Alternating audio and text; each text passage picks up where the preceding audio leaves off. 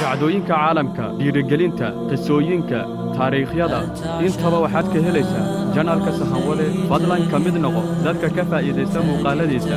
Sabskrayb dheh gambaleelkana furo si aad u noqoto daawadaha koowaad. Mahadsanid walaal. Assalaamu calaykum. Waad salaamantihiin daawadayaasha ku xidhan janaalka sahanwade. Dunidan intaad joogtid waxaadan arkayn ma leh.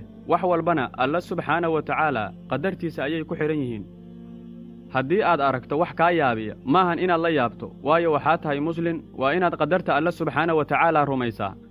Dunidan waxaa kugula nool dadyow kala duwan xagga diinta muuqaalka iyo dhaqankaba. Tusaale ahaan annagu waxaan nahay soomaali ilaahay ayaana siiyey dhaqan noo gooniya oo aysan cid kale nala wadaagin. Waxaana aragnaa dhaqamo kala duwan oo aad la yaabisay markaad aragti. Laakiin dadka ay dhaqanka u tahay way la qurxoon tahay.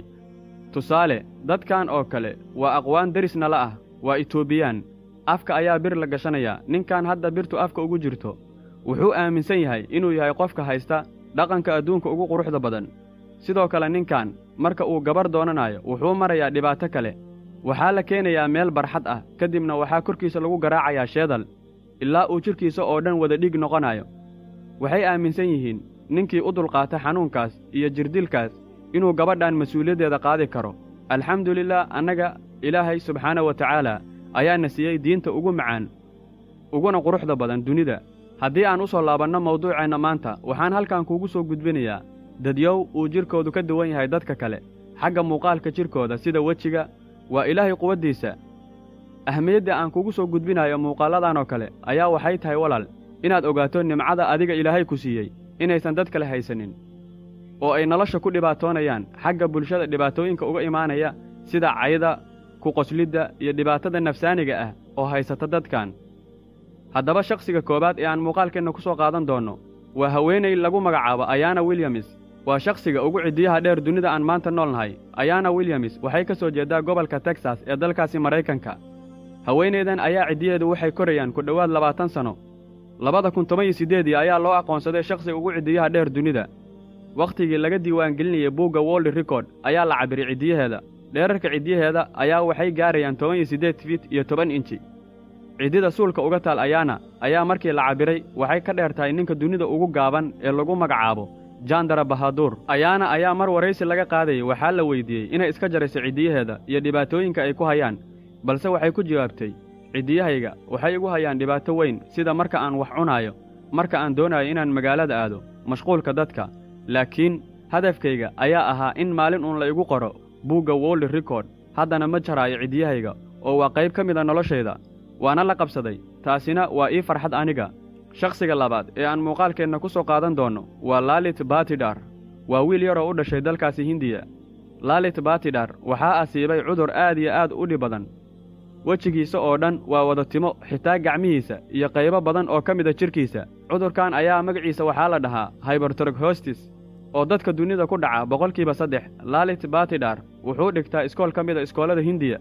Halkaas wuxuu kala kulmaa tacadiyad aad u fara badan. Ardayda ay iskoolka isla dhiganayaan iyo dadweynaha jidka maraayo ayaa dhagax ku tuuraayo kabacdina ku dhahaayo waxaad u eg tahay daanyeer. Laalit wuxuu guriga imaadaa isagoo loo geystay tacadiyad badan maalin walba laakiin iskoolka ma joojiyo wuu aadaa maalin walba. Wuxuuna leeyahay hami ah inuu noqdo sarkaal sare oo ciidan ah si uu faamiligiisa iyo naftiisaba u difaaco laalit batidhar waxaa la dhashay afar gabdhood oo ay walaalo yihiin kuwaasoo mar walba ku dhiirigeliya una sheega inuu aad u qurux badan yahay. Laalit aabbihiisa oo lagu magacaabo bankatalaal batidhar ayaa sheegay inuu u qaaday isbitaal weyn. Laalit markuu jiray laba sanno laakiin dhakhaatiirtu u sheegeen inaan waxba laga qaban karin cudurkiisa. Laakiin laalit wuxuu leeyahay rajo ah in wax laga qaban karo cudurkiisa. Shakhsiga saddexaad ee aan muuqaalkeenna ku soo qaadan doonno waa maxamed kaliim shakhsiga ugu gacanta weyn dunida maxamed waa wiil yar oo ku nool tuulo ku taalla gobolka haarkandhi ee bariga waddankaasi hindiya. Maxamed waxaa asiibay cudur la yidhaahdo jiyatisam oo sababa koritaanka gacmaha bini'aadamka. Inuu gacmaha ka weynaado qofku weliba dhanka sacabada ama calaacasha. Maxamed kaliim wuxuu awoodi waayey inuu ardayda ay iskoolka yihiin la qaato casharrada waayo waxay ku dhibaataynayaan qaabka ay u eg yihiin gacmihiisa. Wuxuu ka dhashay qoys danyar ah oo muslin ah. Macallimiinta iskoolka ayaa ka soo cayriyey iskoolka sababo jira awgeed waxayna waalidkiisa u sheegeen inuusan iskoolka dhigan karin. Waayo waxaa ka cabsanaya carruurta kale sidaas la'adligeed iskool kale u raadiya ayay ku yidhaahdeen waalidkiis maxamed kaliim waxaa dhibaato weyn ku haysa cunitaanka iyo xidhashada dharka. Labadaas ayaa aad ugu adag ayay dhaheen waalidiintiisa. Labada kun iyo afar iyo tobankii waxaa rajo weyn soo geliyey maxamed iyo waalidiintiisa. Nin la yidhaahdo doctor raja sabati oo dhakhtar ah isagoo yidhi maxamed xaaladdiisa wax waa laga qaban karaa. Doctor raja ayaa yidhi marka hore waxaan isku dayaynaa hal gacan inaan qalliin ku samayno si aan u yarayno. Labadooda iskumar waxba lagama qaban karo. Wakhtigaas waxaa loo yareeyey maxamed gacmihiisa mid ka mid a iskoolkana waa loo oggolaaday xaafaddii iyo dunnidoo dhanna caan buu ka noqday. Laakiin gacan ka mida gacmihiisa weli waa sidii. Dhakhtarka ayaana yidhi haddii lagu daro iyadana waxaa imaanaya xaalad halisa oo dhimasho keeni karta.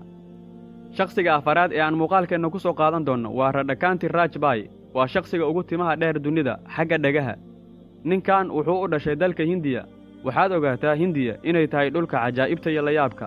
Dadka ugu badan oo aan halkan ku soo sheegnay waxay u dhasheen dalkaasi hindiya. Labada kun iyo saddexdii ayaa loo aqoonsaday shakhsiga ugu timaha dhagaha dheer dunida. Ninkan ayaa aad u ilaaliya timaha ku yaalla dhegihiisa si ay u sii koraan weligiisna uu noqdo shakhsiga ugu timaha dheer dhanka dhegaha dunida. Wuxuu la kulmay dhalleecayn badan oo uga imaanaysa bulshada uu la nool yahay iyagoo ku dhahaaya waad fool xun tahay. Dhagaha ayaad timo ku leedahay sida shayddaankii balse ninkan ayaa yidhi waxaas oo dhan aniga waxba igama tarayaan. Waayo hadafkan lahaa ayaa ka weyn waana gaadhay mararka qaar xitaa waxaan ka ilaalin jiray xaaskayga oo dhowr mar iigu goodisay inay iga jari doonto. Balse markay aragtay abaalmarintan ku helay ayay igu dhiirigelisay iyaduna. Ninkan ayaa wakhtiguu booqanaya timajarayaasha. Wuxuu kala dardaarmaa wax badan inaysan sakiinta uga dhicin dhagaha. Kanina waa mid ka mid a shakhsiyaadka ugu layaabka badan dunida shakhsiga sannaad ee aan muuqaalkeenna ku soo qaadan doonno waa labada shakhsi ee lagu magacaabo roniya andoniya. Waa mataano isku dheggan mataanayaasha dhasha ayagoo isku dheggan ma sii noolaadaan wax badan. Laakiin roniya andoniya waa labada mataane ee ugu wakhtiga dheer. Waxay dhasheen sannaddu markay ahayd kun sagaal boqol konton iyo kowdii ilaa hadda oo ay nool yihiin. Waxay jiraan lixdan iyo siddeed sanno waxayna ku dhasheen gobolka ohaayo ee dalkaasi maraykanka. Waana laba shakhsi oo iskaga dheggan caloosha ilaa xabadka. Waxay ku caddiban yihiin nolosha markay jireen da'da afar sanno waxay wakhtigooda oo dhan ku qaateen isbitaalka.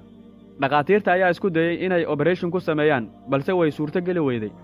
Aabbahood ayaa damcay inuu inta laamiga geeyo uu lacag uga aruuriyo dadka daawashada ugu imaanaya iyaga si uu isbitaal weyn u geeyo. Roniya andoniya hadda waa laba qof oo dunida caan ka ah waxayna u shaqayn jireen shirkadaha madadaalada sameeyo si ayaga loogu maadaysto halkaasna ay lacag uga sameeyaan. Balse waa hawl gabeen hadda oo waa duqoobeen mana doonayaan in hadda wax qalliina lagu sameeyo. Waxay ku qanacsan yihiin sida ay hadda yihiin. Kuwaasina waxay ahaayeen shakhsiyaad ka mid a dadyowga dunida ugu layaabka badan. Janaalkan sahanwade waa mid inkaha qabtiraaya dhacdooyinka noocan oo kale ah. Waxay noo tahay farxad inaad naga mid noqoto. Walaal ku soo dhowow halkan. Waa goobtii aad wax badan ka ogaan lahayd. Waxa dunida ka dhacaayo. Sabskraibe fideogaana like iyo sheer iskugu dar.